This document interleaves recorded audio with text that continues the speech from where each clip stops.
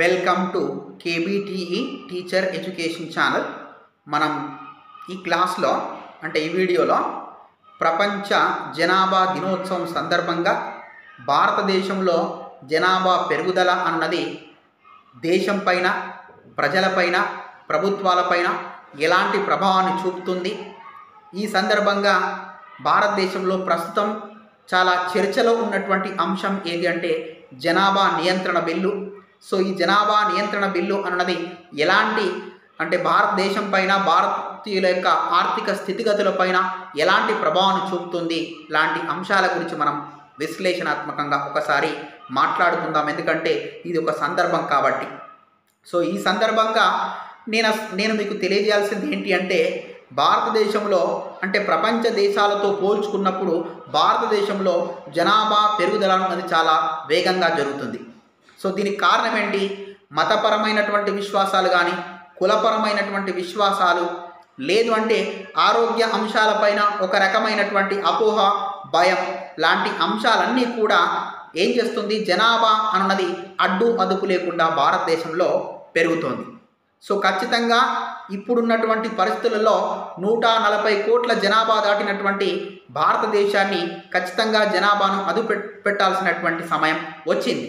So దాంట్లో భాగంగా నేను మీ ద్వారా ప్రభుత్వాలకు సా సామాజిక సేవ చేసేటువంటి వ్యక్తులకు ప్రభుత్వ అధినేతలకు తెలియజేయనిది ఏమనగా కేంద్ర మరియు రాష్ట్ర ప్రభుత్వాలు ఈ జనాభా నియంత్రణ బిల్లు తేవాలి అని కోరుకోవడం జరుగుతుంది. ఎందుకంటే జనాభా నియంత్రణ బిల్లు తేవడం వలన భారతదేశంలో జనాభా పెరుగుదల రేటు తగ్గేటువంటి అవకాశం ఉంది. ఎందుకంటే నూట నలభై కోట్ల జనాభాకు కావలసినటువంటి సదుపాయాల్ని కల్పించడం ఆహార ఉత్పత్తుల్ని అందించడం మన దేశంలో ఉన్నటువంటి వనరుల ద్వారా అందించడం సాధ్యం కాదు.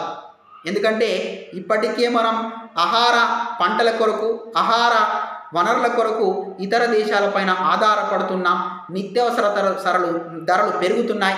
సో ఇలాంటి పరిస్థితులలో భారతదేశం అన్నది ఖచ్చితంగా ఒక కఠినమైన బలమైనటువంటి నిర్ణయం తీసుకోవాల్సినటువంటి అవసరం వచ్చింది. అదే జనాభా నియంత్రణ బిల్లు. ఎందుకంటే జనాభా నియంత్రణ బిల్లు లేకపోవడం వల్ల ఒక అడ్డు అదుపు లేకుండా జనాభాని పెంచుకుంటూ పోతున్నారు. ముఖ్యంగా కొన్ని వర్గాలు. సో ఇట్లాంటి సందర్భాల్లో ఈ జనాభా పెరగడం వలన అనేక సమస్యలు వచ్చేటువంటి అవకాశం అన్నది ఉంటుంది. వ్యవసాయ భూముల్ని కోల్పోవాల్సిన పరిస్థితి వస్తుంది. ఆహార ఉత్పత్తులు తగ్గిపోతాయి. నిత్యావసర సరుకుల యొక్క ధరలు పెరుగుతాయి. పేదరికం అన్నది ఇంకా పైకి వెళ్తుంది. సామాజిక స్థాయి అన్నది తగ్గిపోతుంది. దేశంలో అశాంతి అదేవిధంగా హింస ఆ, హెచ్చుమీరేటువంటి అవకాశం ఉంటుంది కాబట్టి జనాభా నియంత్రణ బిల్లును ఖచ్చితంగా తీసుకురావాలి. మరి జనాభా నియంత్రణ బిల్లును తెస్తే ఏం జరుగుతుంది? ఒకటి జనాభాను నియంత్రించవచ్చు. అంటే ఈ జనాభా నియంత్రణ బిల్లు ఎలాంటిదై ఉండాలి అంటే జనాభాను నియంత్రించకుండా చట్టాన్ని అతిక్రమించి ఎవరైనా ఎక్కువ మంది పిల్లల్ని కంటే వాళ్ళకు ప్రభుత్వానికి సంబంధించినటువంటి ఎలాంటి పథకాలు అందించకూడదు.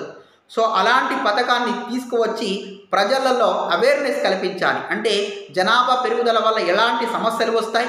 సో దానివల్ల ఆ జనాభా పెరుగుదల అన్నది ప్రజలపైన ఎలాంటి ప్రభావం చూపుతుంది? వాళ్ళ యొక్క ఆర్థిక సామాజిక స్థాయి పైన ఎలాంటి ప్రభావం చూపుతుంది?